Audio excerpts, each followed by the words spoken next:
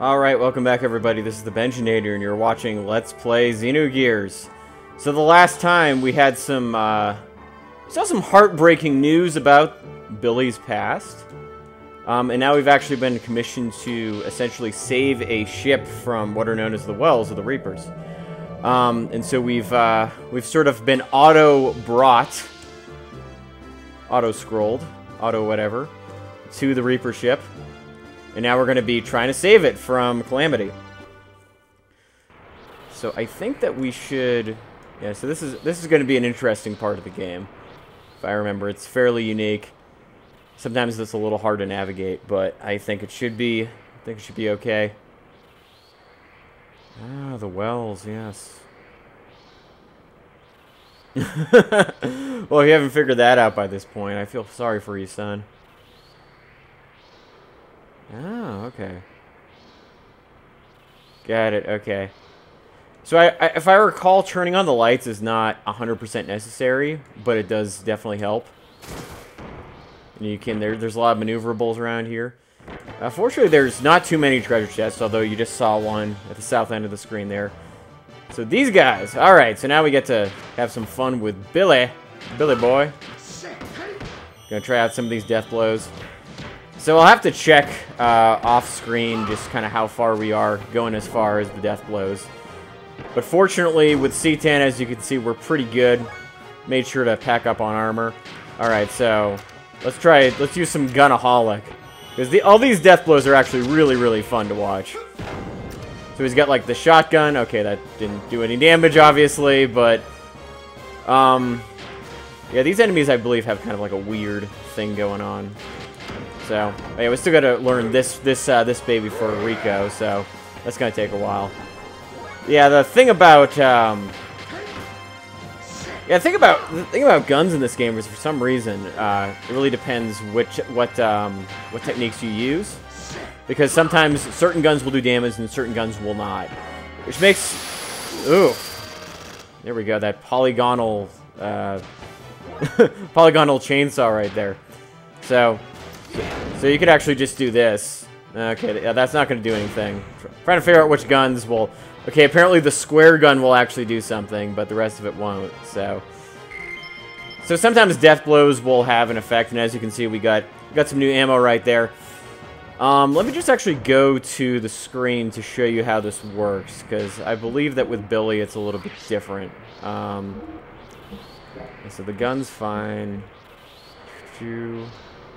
trying to remember exactly. All right, so let's check out death blows first of all. That's something we do know. So we got we got Nutcrack. So he's got the triple triangle X combo.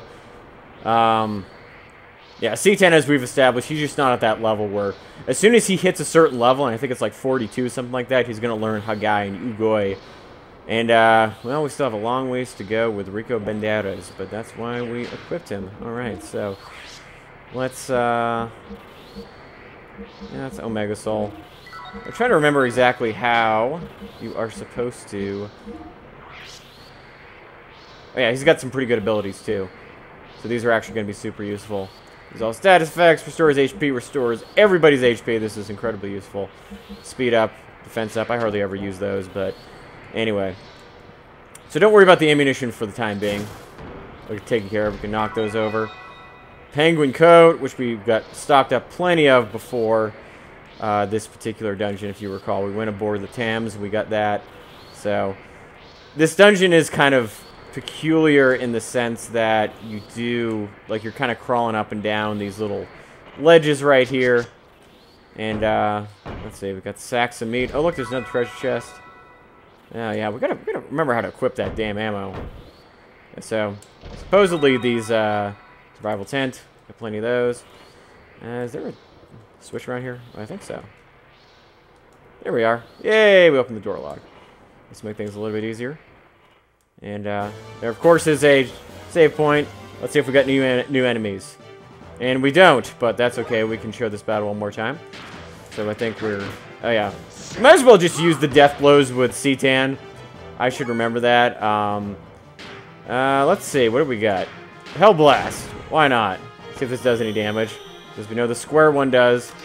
Yeah! Alright, there we are. So Hellblast works on the abandons, apparently. And if you didn't have the penguin quotes, penguin coats, these guys would do a hell of a lot more damage. So, something to be keenly aware of.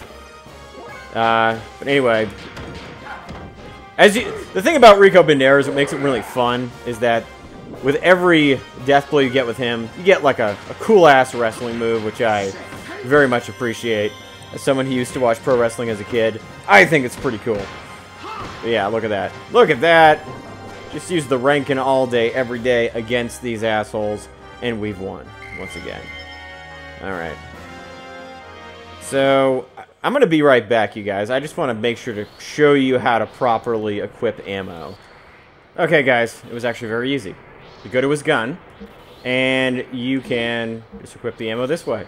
So we can change that out for that. And these all come in, like, different sets. So you're basically, like, you know, essentially re replacing one diminished clip with a new one with a with a higher attack value. So it's not something that you actually have to micromanage a ton, which is kind of fun. Because uh, I recall in this game... Okay, are we... did we did we relock the door? I feel like we did. Right, let's try this baby again. Okay, so maybe maybe you just can't uh, open this door. I think maybe we uh, happen to unlock a different door over there, so we'll see. Yeah, I think we might have opened a door over here. So this this should ostensibly be doing a ton of damage to us, but you know what? That's what we got the Omega Souls for, right? Okay, maybe not maybe not so bad.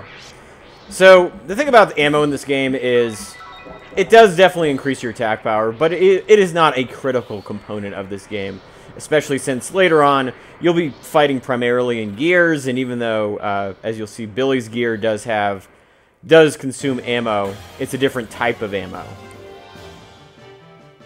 Oh, okay, so we got a new enemy. Sweet. These are some wels, ladies and gentlemen. These are the real deal. These are the guys that were that Billy's trying to actually get rid of. But they're not really that hard. They're basically just walking, talking zombies. They die pretty easily, and uh, they actually th th these attacks will actually do some gun damage now. So, which is Gunaholic is probably one of my favorites, and uh, guys will do some ooh decent damage. Yikes! It's a good thing Billy has all of those nice healing spells, huh? So now we got Rankin, and he's gonna be doing his Citan Uzuki thing. Yes, yes, yes! In your face. And this is gonna be enough for Rico Banderas, the ass-kickingly wrestler of all time. So, it's actually kind of a relief to have enemies that are fairly easy for once. Because in, in, in, previous dungeons, it seems like that's been kind of a rarity, so... Okay, let's see. Get ourselves a good angle. Oh, these are these are not even full rooms. Okay, that's the cabin key. That lets us ostensibly in a cabin somewhere in the future. This leads us to nothing.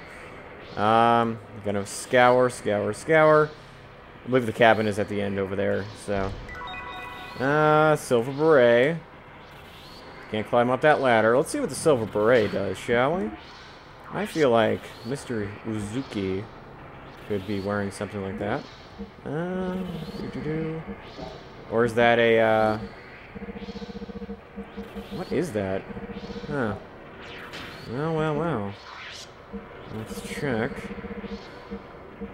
Okay, may maybe uh, one of the female members of the female persuasion in our party can wear it or something like that.